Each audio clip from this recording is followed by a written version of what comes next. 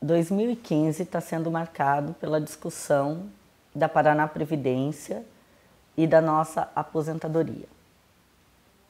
E é sobre isso que a gente está chamando a sua atenção hoje, chamando a atenção de todos os servidores da saúde.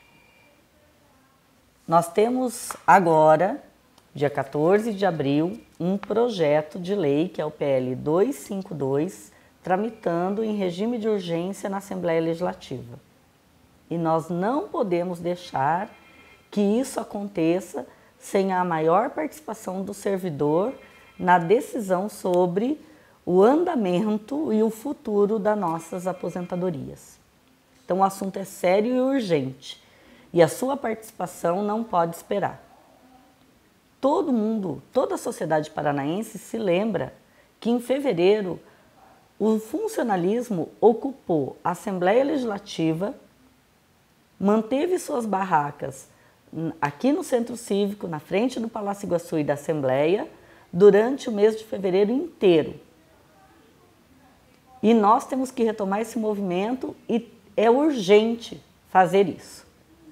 O projeto de lei trata dos interesses do governo. Do jeito que ele está hoje, pouca coisa que interessa ao servidor foi aceito pelo governo.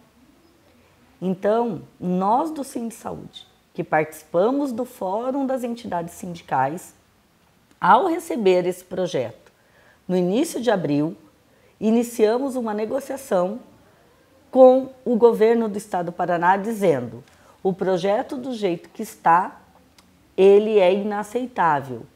E o governo acatou algumas das nossas emendas. Ou seja, tem uma previsão hoje nesse projeto de lei que o governo vai colocar recursos na, na Previdência é, de um bilhão de reais no futuro, para garantir a sustentabilidade do sistema. Mas isso só não é suficiente. Nós tínhamos mais duas emendas financeiras. Uma também foi incorporada pelo governo, que é o aumento da contribuição patronal junto à Paraná Previdência. Isso para o futuro, para também garantir a sustentabilidade é, dos pagamentos das aposentadorias futuras. Mas existe ainda outra emenda financeira que não está incorporada. Existem várias emendas que eu poderia denominar de gestão, de administração do sistema previdenciário, do, ser, do, do funcionalismo estadual, que não foram incorporadas aqui a esse projeto.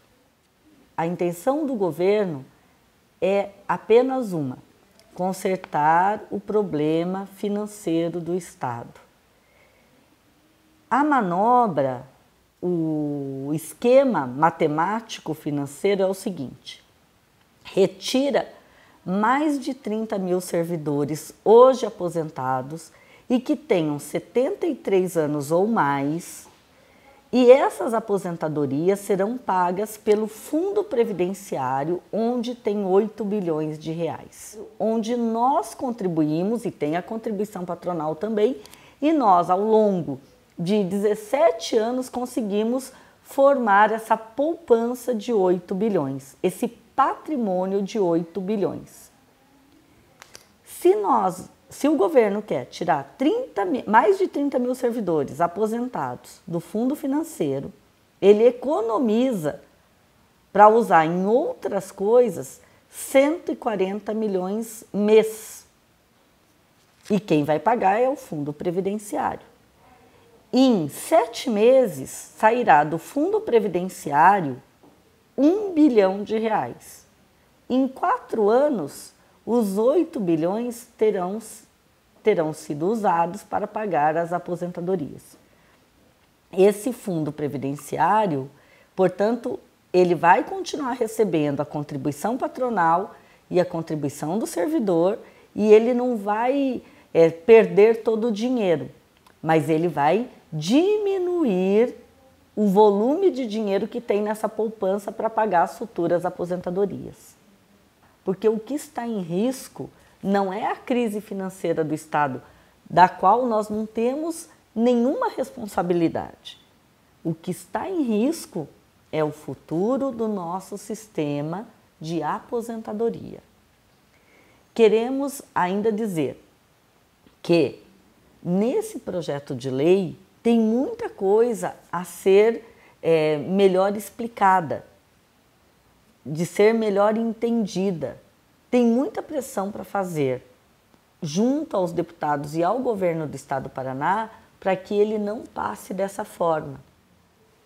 Se você acha importante esse tema, que é a nossa aposentadoria, o nosso futuro, então não dá para deixar para depois.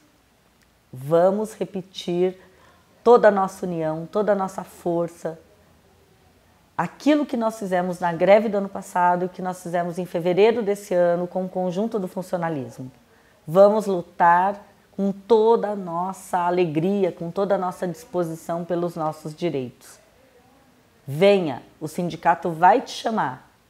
Nós vamos promover paralisações, dias de mobilizações com o conjunto do funcionalismo.